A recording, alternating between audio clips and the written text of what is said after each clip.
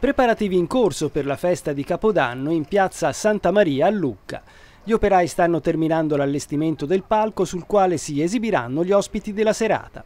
Lo spettacolo che accompagnerà i lucchesi verso il 2023 sarà ad ingresso gratuito, inizierà alle 22 del 31 dicembre e proseguirà fino alle 3 del mattino di Capodanno.